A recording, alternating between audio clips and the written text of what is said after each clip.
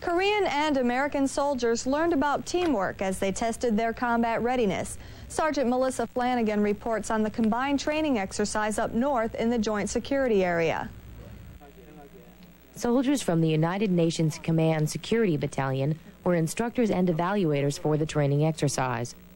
Four squads of the Joint Security Forces went through proficiency training on individual and collective common tasks.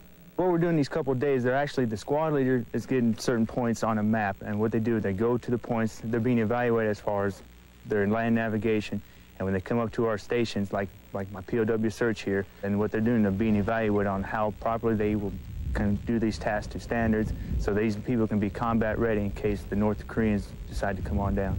It was the first such training for many soldiers of the three ROK squads.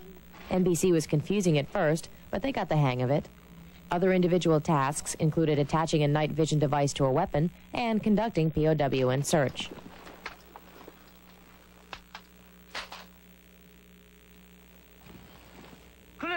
The squads traveled up to 30 clicks a day during the land nav portion of the training exercise, an exercise that gave the men ample time to experience teamwork in the field.